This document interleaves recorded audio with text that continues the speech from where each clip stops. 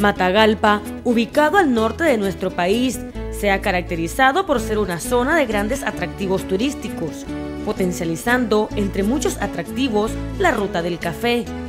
Esto ha marcado el paso para que cooperativas como esta, ubicada en la comunidad La Reina, municipio de San Ramón, oferten el turismo rural comunitario a sus visitantes. Aquí lo que consume el turista son eh, comidas típicas, eh, a veces nosotros ofrecemos, eh, enseñamos al, turista cómo se hacen los nacatamales, por ejemplo.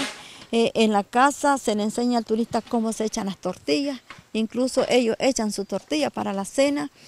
Y bueno, nosotros tratamos de que el turista se sienta con una experiencia muy bonita y que se vaya contento, que es lo principal.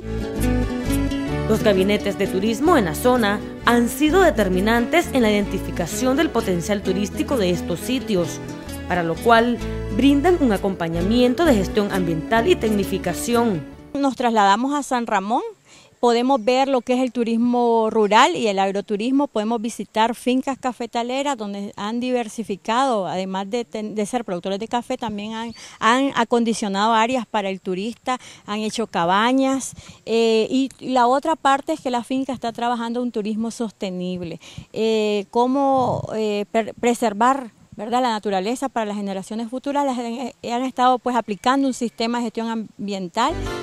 Con el auge del turismo rural comunitario, también es determinante la policía turística para brindar seguridad.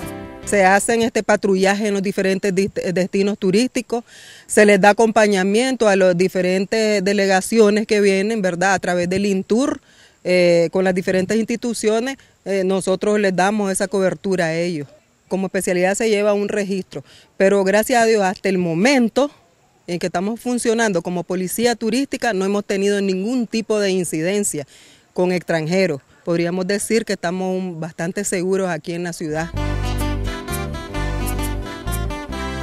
Visión Policial te invita a ser parte de esta aventura de convivencia aventurándote en los senderos y conociendo más de este rubro que florece en estas imponentes montañas de Matagalpa.